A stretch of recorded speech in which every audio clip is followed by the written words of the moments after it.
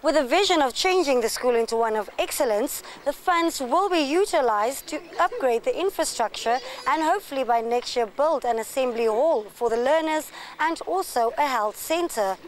We have said and we are determined that the Vision 2030 is real and is attainable.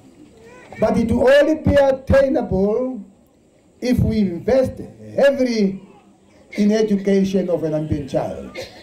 Now, I want, I want to call upon, to call upon all the um, corporate citizens of this country, non-profit making organizations, international organizations, individuals, to do their part and to follow the example to emulate the example of NamGem and Lazelle to help Namibians achieve Vision 2030.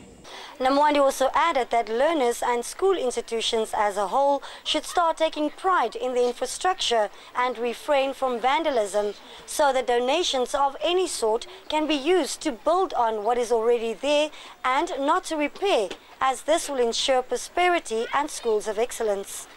Our interests and concerns go beyond business. We look to give a little something back to help with the challenges of life. Helping one another is so important. We think of ourselves as part of the community of Okahandja, bringing our worlds together, building bridges to proudly show our American consumers the place where their products originate.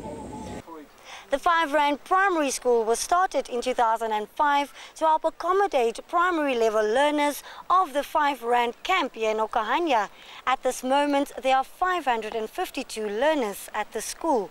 Reporting for the News on One, I'm Bramalda English.